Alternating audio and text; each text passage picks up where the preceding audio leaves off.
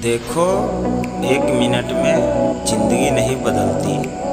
कि एक मिनट में ज़िंदगी नहीं बदलती, लेकिन एक मिनट में लिए गया फैसला पूरी ज़िंदगी बदल देती है। इसीलिए लाइफ में जो भी आप फैसले लेते हो ज़रा सोच समझ कर लिया करो, और कोई भी लक्ष्य इंसान से बड़ा नहीं होता।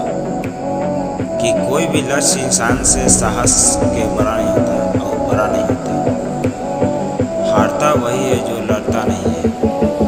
और एक बात हमेशा याद रखना कि जितनी कठिन ये रातें होगी,